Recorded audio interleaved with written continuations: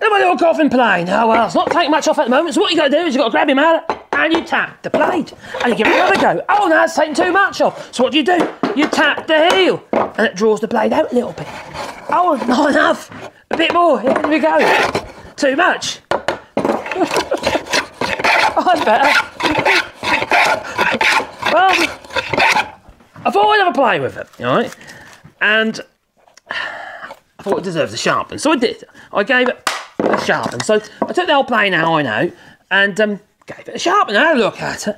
And to my surprise, no behold, never noticed it before, it's a Robert Sorby.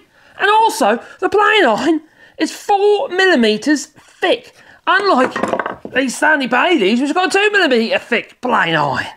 Blimey, I suppose. If it was good enough for them in the olden days, well, quite frankly, it's good enough for me. Toodaloo.